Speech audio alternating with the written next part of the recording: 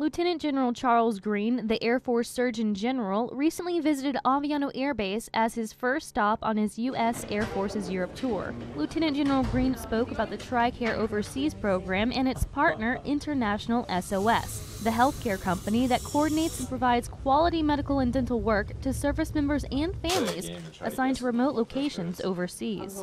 Well, I think that people have experienced a little bit of difficulty as we've transitioned to a new contract. And that has nothing to do with our new partner in International SOS.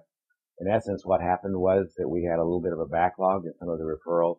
And so there was some effort to try and recapture that workload. The Air Force Surgeon General went on to say that over the next few months, the partnership with International SOS will enhance the partnership with host nation providers and allow TRICARE to expand their network and find the best quality of care for service members and their families. Reporting from Aviano Air Base, I'm Staff Sergeant Jaime Ciciora.